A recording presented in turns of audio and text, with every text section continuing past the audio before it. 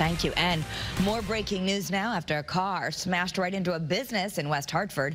Channel 3's Bryant Reed is at the First Alert desk with what he's learned. Bryant? Well, Kara, we are still working to learn more about this crash, but right now we know a car crashed into a dry cleaner on Albany Avenue. Now take a look at this picture here from our crews at the scene. You can see the front of the store was just taken out by this car. Now we are trying to find out if someone was hurt, but what we know so far is the driver hit the gas instead of the brake in the parking lot.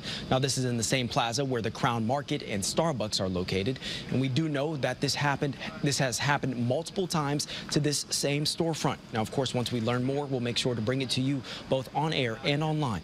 On the First Alert Desk, Bryant Reed, Channel 3 Eyewitness News.